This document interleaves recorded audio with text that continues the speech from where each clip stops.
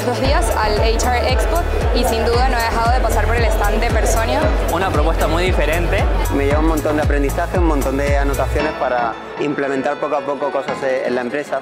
Para mí el mejor stand que, he visitado hoy. ¿eh?